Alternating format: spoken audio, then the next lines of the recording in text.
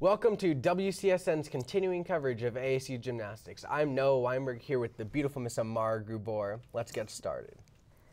What missteps did the Gym Devils take that led to their demise against the Cardinal last meet?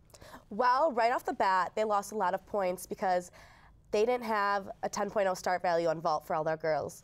They had to take four Yurchenko layouts, which starts at around 9.8, opposed to Stanford, who posted really strong 10.0 start value vaults, and they just weren't able to pick it back up the rest of the meet.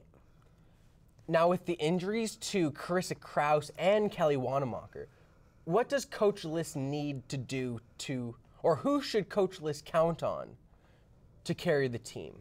Well, I definitely think she's going to be able to count on her two all-arounders, Stephanie Masali and Ali Salas, who have been very consistent, posting good scores and being consistent. As well as, I'm seeing a lot of good stuff from Becca Conrad. Last meet versus Stanford, she did a beautiful beam routine, nailed all her jumps, and stuck her dismount. So hopefully she can carry the team as well.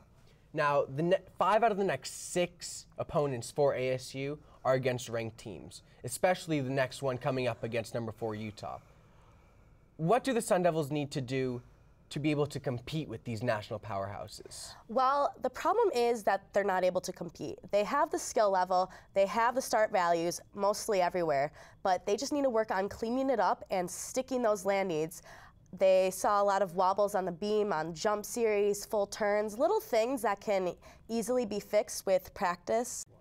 Well, you heard it here. Make sure to check out the Pac 12 digital stream of ASU gymnastics on February 20th.